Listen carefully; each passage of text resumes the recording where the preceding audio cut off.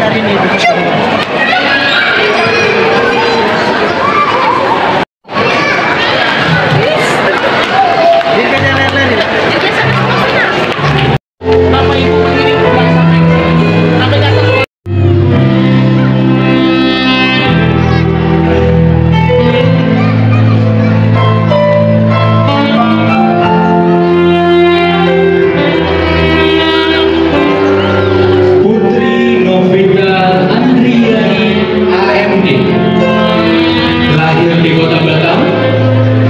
21 Desember 1993 Sana Bapak Muhammad Amin dan Ibu Nurjana.